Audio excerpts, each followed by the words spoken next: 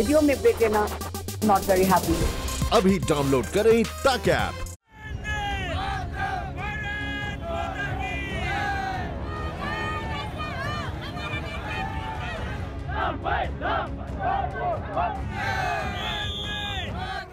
गुजरात में हुए छह विधानसभा सीटों के लिए आज काउंटिंग हो रही है और इस वक्त हम मौजूद हैं अहमदाबाद की अमराईवाड़ी विधानसभा सीट पर। यहाँ पर आप देख सकते हैं मेरे पीछे जो वहाँ पर डिस्प्ले लगाई गई और यहाँ पर अभी काउंटिंग जारी है और पहले तीन राउंड की काउंटिंग हो चुकी है और यहाँ पर इस बार कांग्रेस के उम्मीदवार धर्मेंद्र पटेल आगे चल रहे हैं। सालों से भारतीय जनता पार्टी का गढ़ रहा है यहाँ पर बड़ी तादाद में भारतीय जनता पार्टी और कांग्रेस के समर्थक यहाँ पर उमड़ चुके हैं।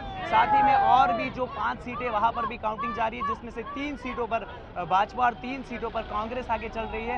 राधनपुर, बायड और अहमदाबाद की सीट पर फ़िलहाल कांग्रेस ने शुरुआती रिजानों में लीड बनाई है। बाकी जो तीन सीटें वहाँ पर भारतीय जनता पार्टी आगे चल रही है, यहाँ पर दोनों ही पार्टी के समर्थक मौजूद है, उन्हीं से पूछते हैं। काउंटिंग जारी है, तीन राउंड की काउंटिंग हो चुकी है सालों से भाजपा का गढ़ रहा है, पर अभी फ़िलहाल जगदीश भाई पीछे चल रहे क्या कहेंगे?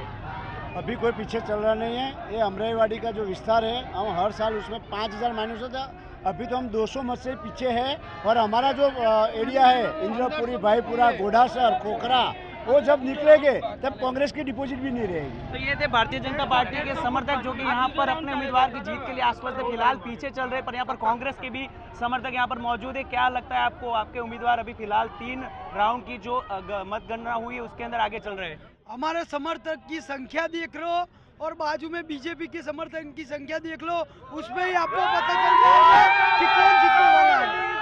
इस तरीके से देख सकते हैं उत्साह देख रहे हैं दोनों पार्टी के समर्थक नारेबाजी चल रही है यहाँ पर भारतीय जनता पार्टी के कुछ और समर्थक है उनसे बातचीत करने का प्रयास करते हैं। बताइए भारतीय जनता पार्टी के समर्थक आप कांग्रेस के समर्थक जो है जो नारे लगा रहे वो बोल रहे हैं कि यहाँ पर कांग्रेस आगे चल रही है। इस बार उनको जीत की उम्मीद है। अरे अभी तो सिर्फ़ अट्ठावन बूथ के रुझान है।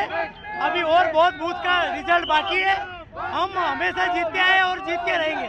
भारतीय जनता पार्टी आगे रहेगी। जिस तरीके से देख सकते हैं यहाँ पर आप बड़ी तादाद में कांग्रेस और भाजपा के समर्थक सड़कों के उमड़ चुके हैं सालों के बाद यहाँ पर कांग्रेस को शुरुआती रुझानों में लीड दिख रही है और इसकी वजह से यहाँ पर कांग्रेस के समर्थक काफ़ी उत्साहित है, जिसकी वजह से यहाँ पर नारेबाजी चल रही है।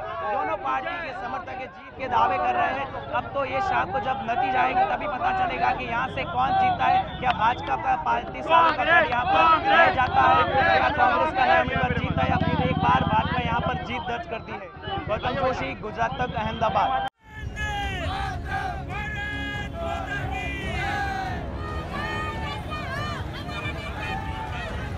Vale, vale.